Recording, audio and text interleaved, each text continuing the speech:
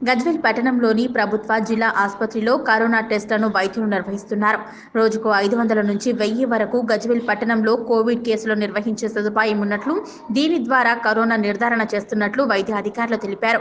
వీటి కోసం గజ్వేల్ నియోజకవర్గం నలుమూలల నుంచి ప్రజలు ఎక్కువ సంఖ్యలో వచ్చి కరోనా టెస్టులను చేయించుకుంటున్నట్టు అటు ప్రభుత్వ సిబ్బంది మరియు ఆరోగ్య సిబ్బంది కోవిడ్ నైన్టీన్ లక్షణాలు ఉంటే వారందరూ కూడా గజ్వేల్ ప్రభుత్వ ఆసుపత్రికి వచ్చి పరీక్షలు చేయించుకోవాలని వైద్య ఆరోగ్య శాఖ అధికారులు సూచిస్తున్నారు.